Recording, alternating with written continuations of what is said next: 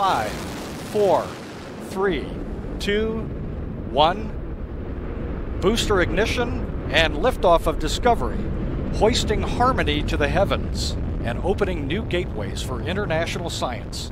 Discovery has cleared the tower. Houston now controlling. Roll program. Roger, roll, Discovery.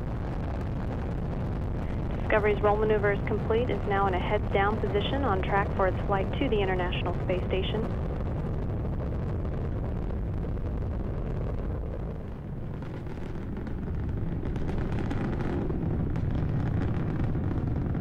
Discovery 7 miles downrange at an altitude of 2 statute miles. Flying at 600 miles per hour.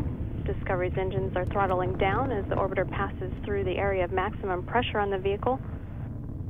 Now 50 seconds into the flight.